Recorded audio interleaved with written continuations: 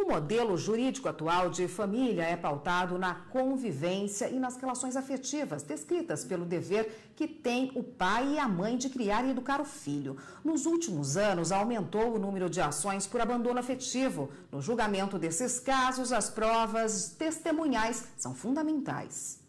O tema abandono afetivo é um tema bastante recente e moderno na justiça brasileira. Quem esclarece os detalhes sobre esse assunto para a gente é o jurista Yuri Soares de Mello. Olá, boa tarde. Para a gente começar nossa entrevista, vamos comentar um caso que aconteceu no STJ. Um jovem processou o pai por abandono afetivo. É, o que, que realmente caracteriza abandono afetivo de acordo com as leis brasileiras? Boa tarde. Exatamente isso. A negligência do pai ou da mãe em não conceder ao filho amor, carinho, atenção e até mesmo um abraço.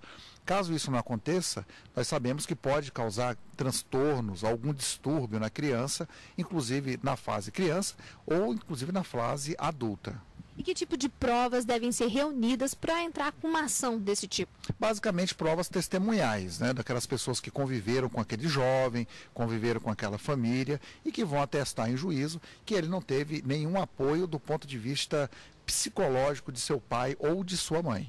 Nesses casos, é, o mais usual, o mais recomendado é esperar essa, esse jovem, essa criança crescer, é, ficar numa idade adulta para entrar com uma ação dessa ou a mãe já pode entrar com uma ação na justiça? O filho pode entrar numa, com ação como menor de idade, representado pela sua mãe, sua genitora.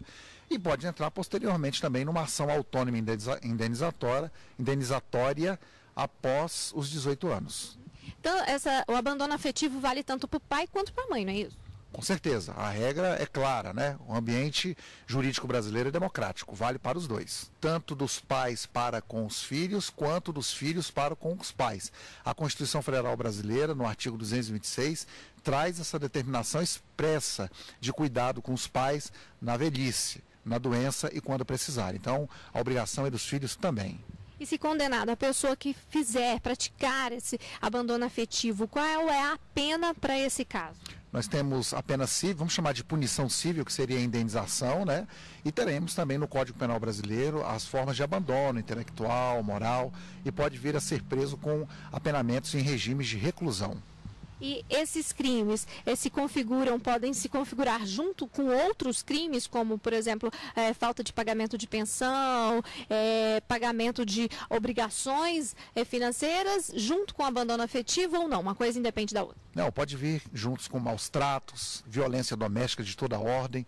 E a questão da pensão alimentícia, ela não é efetivamente um crime, mas um, vamos chamar assim, de ilícito cível, que justifica a prisão caso efetivamente também não seja paga. Então, a obrigação é intensa de dar assistência para a criança e para os pais na velhice também.